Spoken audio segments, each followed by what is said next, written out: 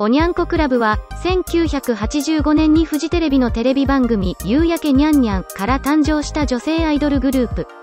1980年代に一世を風靡したおにゃんこクラブの人気ランキング順にその後を紹介していきます。12位、生稲晃子さん。生稲晃子さんは1968年4月28日生まれ。54歳、会員番号40番。生稲晃子さんは子供の頃からスポーツが得意でジュニアサッカーチーム小金井フットボールクラブで全国大会で優勝されています。小学校は卓球部でキャプテン中学はバレーボール部小学校時代は 50m で6秒8という足の速さでした。当時の生稲晃子さんはアイドル活動よりバレエを優先したかったそうです。出身高校は芸能活動禁止でしたが生稲晃子さんは成績優秀だったのでトップの成績を維持すること大学受験をすることを条件に芸能活動を許可されていました。学業と芸能活動を両立されていたんですね。生稲晃子さんのガッツに敬服します。1986年3月当時からタッチの朝倉みなみに似てると言われたのでミスみなみちゃんコンテストに出ます。ただコンテストは芸能事務所に所属していないことが条件だったので落選するもそこにいたレコード関係者におにゃんこクラブのオーディションに誘われます。1986年6月のオーディションで合格し1986年6月13日おにゃんこクラブの会員番号40番としてデビューします。実は生稲晃子さんは当初おにゃんこクラブの加入に前向きではなかったそうです。そんな生稲晃子さんが加入を決心したのはファンだった田原俊彦さんのレコードを上げるとお兄さんに言われたからなんです。お兄さんとのやり取りが微笑ましいですね。高校での成績は優秀で常に5番以内でしたが芸能活動をされてたので学校推薦がもらえなかったので高校3年時の1987年におにゃんこクラブを活動休止し大学受験に専念をされました。生稲晃子さんは芸能活動を続けていくつもりはなく将来は学校の先生を目指していましたなので大学進学後もきちんと授業を受けられていましたこの頃からきっちりしていたのですね生稲晃子さんはおにゃんこクラブから派生したユニット後ろ髪引かれ隊のメンバーに抜擢されます他にどんなメンバーがいらっしゃったかというと工藤静香さんや斉藤真希子さんですデビュー曲は時の川を越えて1987年5月18日付のオリコンチャートで見事初登場で1位に輝きます。名実ともにトップアイドルの仲間入りですね。アイドルとして順風満帆な道を歩んでいきますが実は後ろ髪引かれたい加入当初は困惑していたというのです。というのも大学受験のため活動を休止していた期間にユニット加入が決められたためでした。ただもう決定事項だったので自分の力だけでは翻すことができず加入に至りました。初めは乗り気じゃなかったかもしれませんが加入したことは大正解だったと思います。そして1988年4月に後ろ髪引かれ隊は解散し1988年5月に麦わらでダンスでソロデビューします。その後22歳の1990年頃から本格的にドラマやバラエティなどタレントとして活動を行っていました。ソロになっても活躍目覚ましいですね。圧倒的な人気が支えていたものと思います。この後もテレビ番組に引っ張りだこの売れっ子タレントに上り詰めます。1999から2002年「昼ドラキッズウォー」では井上真央さんの母親を演じました。そんな生稲晃子さんのその後はこちら。いくつになっても変わらない可憐という言葉が似合いますね。知っている人も少なくないと思いますが生稲晃子さんはなんと2022年7月10日投開票の参院選に自民党から立候補されました。驚かれた方も多いのではないでしょうか。憲法改正などについてご自身のお考えがあるようです。かし政策アンケートにほとんど無回答で提出し炎上してしまうが見事に当選。知識不足などバッシングはありますがそれを跳ねのける活躍を期待しています。ドラマからバラエティまで活躍を続けていた生稲晃子さんですが2003年に当時制作会社でプロデューサーをしていた佐山智博さんと結婚します。番組でお家を紹介したり SNS の内容から見て夫婦仲は円満なようです。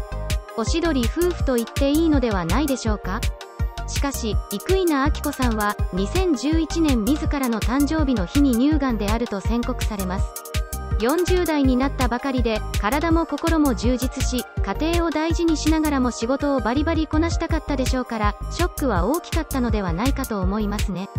この後生稲晃子さんは5度の手術を受けますが見事克服するのです。本当に治ってよかったです。これから参議院として頑張ってください。応援しています。11位白石真子さん。白石真子さんは1969年6月12日生まれ。53歳会員番号は22番1985年7月に加入した白石真子さんはクラスにいそうな親しみやすい女の子として人気を集めました。翌年には辰巳梨花さんらとスピンオフユニットニャンギラスを結成。音痴な立見さんをあえてメインボーカルに据えたデビューシングル「私はリカちゃん」は少年隊の仮面舞踏会に続くセカンドシングル「デカメロン伝説」のオリコンチャート1位を阻んだ曲として知られていますが厳密に言うとこれは間違いデカメロン伝説の初登場1位を阻止したのは前週の河合園子さんの青いスタシオンであり、私はリカちゃんが1位を獲得したのはその翌週のことでした。少年隊にしてみればおにゃんこクラブに次ぐ2位に甘んじ続けたわけです。これも当時のおにゃんこクラブの勢いを表すエピソードと言えるでしょう。ニャンギラスの色物メンバーの中では白石真子さんの妹的な可愛らしさは一層際立っていたように思えます。おにゃんこクラブが解散したのは1987年9月。周囲の雰囲気から終わりが近いことは感じていたという白石真子さん。芸能界でそこそこ夢を叶えることができソロでやっていける自信もなかったため引退を選択しました。もともと結婚願望が強く大学に進学して恋愛を楽しみたいという気持ちもあったそうです。そんな白石真子さんのその後はこちら。現在でも可愛さは健在です。2022年現在はヨガのインストラクターやチャイルドボディセラピストとして活動中という白石真子さん。ヨガは以前から親しんでいたようですが本腰を入れたのはベビーマッサージの資格を取ってから。ベビーマッサージとは母親が赤ちゃんに行うマッサージのことで絆を深めるためのスキンシップなのだそう。若くして母親になったために子育てに余裕が持てなかったことが心残りで新米ママさんたちに伸びやかに子育てをしてほしいという思いから資格を取得したようです。胸を開いて深い呼吸をするという点がヨガと同じだったことからヨガへの関心も高まったそうです。結婚したのは1992年でした。旦那さんと4人の子供たちの名前や年齢などは公表していません。子育てにあたっては元おにゃんこクラブということから風当たりもあったらしく子供に負担をかけてしまったと述べています。おにゃんこ関連のイベントを含めメディアへ登場しない時期もあった白石真子さん。やはり子育て事情を考慮してのことだったのですね。近年はメディアへの登場も増えているので今後の展開に注目です。10位斉藤真紀子さん。斉藤真紀子さんは1970年9月19日生まれ。52歳。会員番号は42番。高校在学中の1986年8月10日ミスセブンティーンコンテストウィズおにゃんこクラブで準グランプリを獲得し同グループにメンバー入りする。1987年4月からは同じくおにゃんこクラブで活動していた工藤静香生稲晃子とともに後ろ指刺され組の後継ユニットとして結成された後ろ髪引かれ隊で活動した。太い眉毛が印象的でマッキーの呼び名でファンから親しまれていた。アイドル時代はその眉毛をチャームポイントとして売っていたようです。現在ほどメイクも発達していないので個性を出せるとなるとそこだったのかもしれませんね。後ろ髪引かれ隊は生稲晃子さんをセンターとしたユニットだったようですが活動するうちに工藤静香さんの人気が爆発し2枚目のシングルからは工藤静香さんがセンターになったということ。工藤静香さんの歌唱力はずば抜けていたということです。このような2人に囲まれていた斎藤真希子さんですがやはり眉毛が他の2人より目立っていることが分かります。現在の斎藤真希子さんの姿はこちら。年を重ねてさらに美しくなっています。結婚はというと1998年にスジャータのブランドで知られる年商1600億円を誇るコーヒーフレッシュ販売シェア1位のスジャータ名楽グループの取締役社長の日比春夫さんです。斉藤真希子と日比春夫さんの間に子供は2人いらっしゃいます。芸能界引退後はおにゃんこクラブの再結成イベントにも一切参加していません。しかし2021年8月の CS 放送のゴルフ番組にゲスト出演されていました。芸能界を引退して以来の出演で専業主婦に徹していましたと斉藤さんご本人がおっしゃっていました。よくおにゃんこクラブの中で誰が一番勝ち組かなんて言われてますがよくスジャータ迷楽グループ社長の御曹司で玉のこし婚した斉藤真希子と名前が挙がるほどです。セレブな生活をされていらっしゃると思いますのでどんな私生活なのか気になりますね。これからもたまにで良いのでメディアに出演してほしいです。9位吉沢昭恵さん。吉沢昭恵さんは1968年10月20日生まれ。53歳。会員番号は25番。吉沢昭恵さんが受けたオーディションは少し違いました。この時のオーディションはおにゃんこクラブ加入だけでなくドラマ「スケバンデカ2」への出演も兼ねたものでした。このオーディションに合格し2代目朝宮咲役に選ばれた吉沢昭恵さん。ところが実際に2代目朝宮咲を演じたのは南野陽子さんでした。